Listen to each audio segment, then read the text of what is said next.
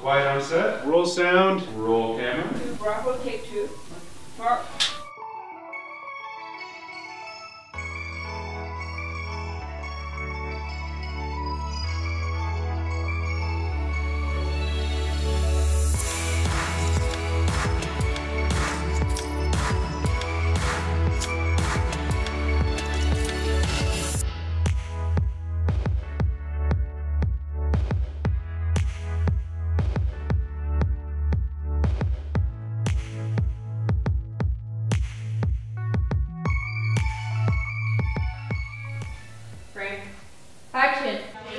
Ivy Miller, and we are currently in a loft. So we're filming Faded here.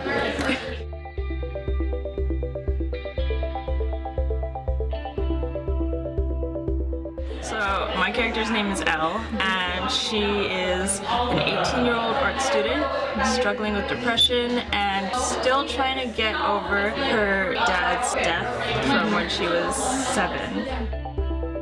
She's still struggling to sort of get her feelings out. She sort of had it bottled up since her dad passed when she was a kid. It's all about her finding her connection with him again through her art. You'll see in the story her demeanor is changing, so we'll see her a little bit more sad. And at the end, the resolution on her thinking that there's more to it in life than just like focusing on the bad things. With the help of her psychiatrist and through the art that she fell in love with with her dad mm-hmm. ages and ages ago, that's how she sort of gets all her feelings out and ends up in a better place. I actually, I kind of like thought on the idea of the short like a while back because it's, it's based on kind of like a personal experience what I went through. I've been kind of like developing the idea and the story for a while already. When I applied for Herland, I had to finally like kind of like sit down and just like write. I'm Sandy Summers, and I'm a filmmaker, a writer, director, producer. And for Herland, I started the program quite a while ago. Herland started as a film festival in the late 80s. It was an amazing film festival because they brought in films by the gay, queer, lesbian community, women of color, really diverse films were played. When the festival closed, so did kind of the infrastructure and support for the workshop close, and so I stopped doing it. And then came a time uh, around 2013 that people were coming to me and saying, "You got to start that again." There's not a lot of women who are remaining in the film industry, and so I did a lot of interviewing of women. Why were they leaving? And created um, the five-month program. Herland's main goal is to bring more films by women to the public eye. So I kind of like, you know, that would be a really cool idea, like that would be a really cool thing to do, right? So, you know, just apply and just like uh, do a short and learn about directing and learn more about filmmaking, right?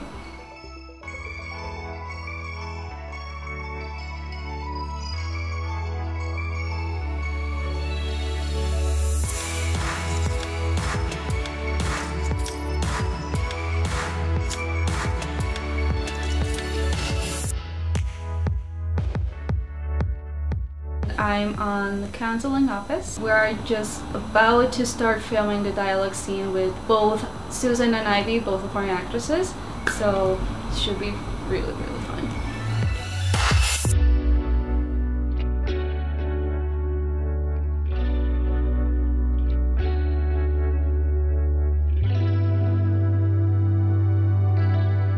So Jimena got into the program based on her script and her commitment to making films. What I saw in her set was a lot of women pitching in, working on crew, which was amazing. I saw really beautiful images, which let me know that she has a vision, she knows what she wants, and she was able to pull it all together. Well, I've worked with Jimena, the director, before, and Mark, the assistant director. I've worked with them on two other projects. So when they put out the casting call on Facebook, I knew I was going to be in good hands if I worked with them again. Every single shoot typically has some hiccup. And what I found with Jimena was that I didn't even see her hiccup. She just smiled her way through it, and it was such a joy and blessing to watch her work.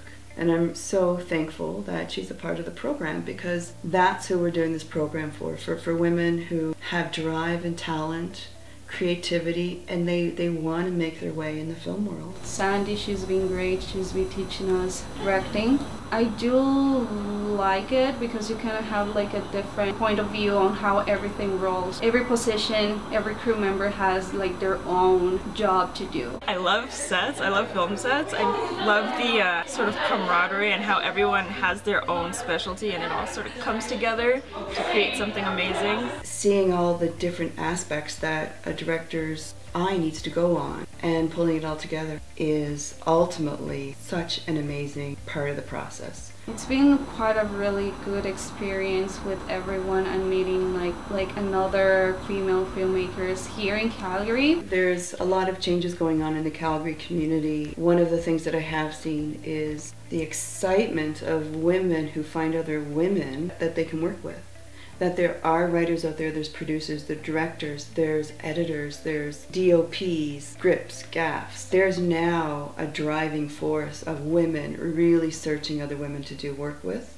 And I think that that's fascinating and so wonderful. I think it'll continue to grow because women are really ready for change. Women are getting an opportunity to advance their skills. I'm really happy on how everything is working out and how it's looking. So I'm really excited how the final project is going to look.